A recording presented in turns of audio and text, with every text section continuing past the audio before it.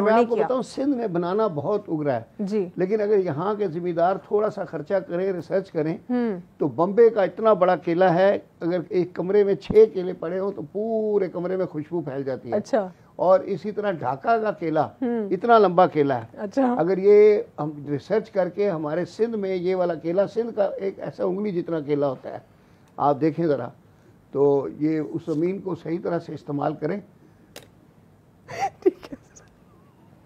बिल्कुल सही है। ठीक है। आप कह रहे हैं नहीं रिसर्च एंड डेवलपमेंट जो है पाकिस्तान में बहुत पुअर है। रिसर्च एंड डेवलपमेंट के ऊपर बहुत ज़्यादा काम होने की सख्त ज़रूरत है। और सर, मुकम्मल कर लीजिए अपनी बात को आप। तो वो रिसर्च करें और अगर ये ढाका का और बॉम्बे वाला केला यहाँ आ जाए तो कितनी ज़्यादा उसकी मांग भी बढ़ जाएगी सेल भी बढ़ जाएगी।